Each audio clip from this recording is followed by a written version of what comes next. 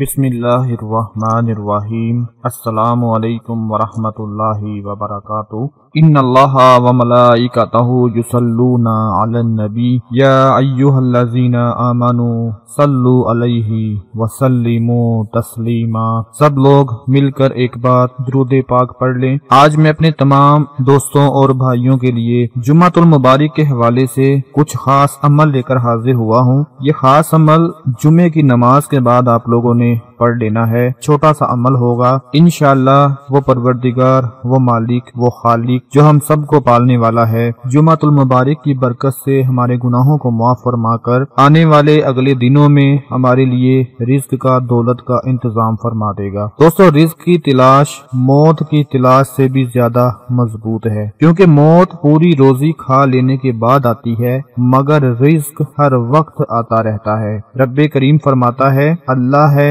جس نے تمہیں پیدا کیا، پھر تمہیں روزی دی، پھر تمہیں مارے گا، پھر تمہیں جلائے گا یعنی زندہ فرمائے گا۔ دوستو، وہی مالک ہمیں روزی دینے والا ہے، جو میرے دوست، میرے بھائی رزق کی وجہ سے پریشان رہتے ہیں۔ خدارا رزق کی وجہ سے کبھی بھی پریشان مت ہوا کریں۔ رزق کی پریشانی کو چھوڑ دیں۔ ایک حدیث پاک کا مفہوم ہے، انسان اگر موت کی طرح رزق سے بھی بھاگے، جب بھی رزق اسے ضرور مل کر ہی رہے گا۔ جیسا کہ موت یقینی طور پر آ کر ہی رہتی ہے۔ نبی پاک نے فرمایا، جسے آخرت کی فکر ہو، اللہ تعالیٰ اس کا دل گنی کر دیتا ہے۔ اس کے بکھرے ہوئے کاموں کو جمع کر دیتا ہے۔ اور دنیا اس کے پاس ذلیل ہو کر آتی ہے۔ اور جسے دنیا کی فکر ہو، اللہ تعالیٰ محتاجی اس کی دونوں آنکھوں کے سامنے کر دیتا ہے۔ اس کے جمع شدہ کاموں کو منتشر کر دیتا ہے۔ حالانکہ دنیا سے مال بھی اسے اتنا ہی ملے گا جتنا اس کے لیے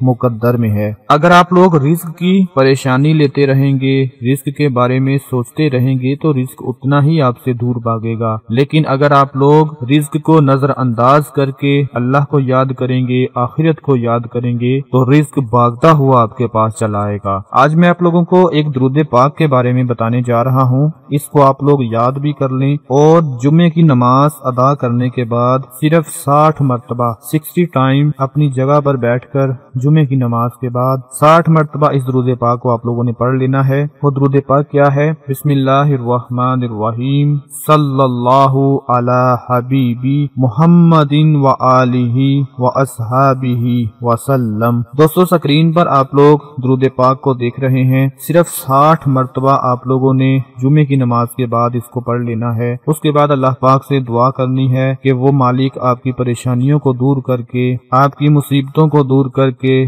دکھ دردوں کو دور کر کے آپ کے لیے رزق کا انتظام فرما دے گا۔ کبھی بھی رزق کی وجہ سے آپ نے پریشان نہیں ہونا۔ جمعہ آ گیا ہے، اس وظیفے کو، اس عمل کو آپ لوگ پڑھ لیں۔ انشاءاللہ اگلے ہفتے میں ایسی ایسی جگہ سے آپ کے پاس دولت آنا شروع ہوگی، رزق آنا شروع ہوگا۔ کہ آپ نے سوچا بھی نہیں ہوگا کہ میرے ساتھ یہ معاملہ پیش آ جائے گا؟ اس درود پاک کو اپنے تمام دوسرے بہن بھائیوں کے ساتھ بھی شیئر کریں، خود بھی پڑھیں۔ اللہ پاک ہم سب کے گناہوں کو معاف فرمائے اور ہمارے لیے آسانیاں پیدا فرمائے۔ اپنا بہت سارا خیال رکھیں، اپنی دعاؤں میں یاد رکھیں۔ اللہ حافظ۔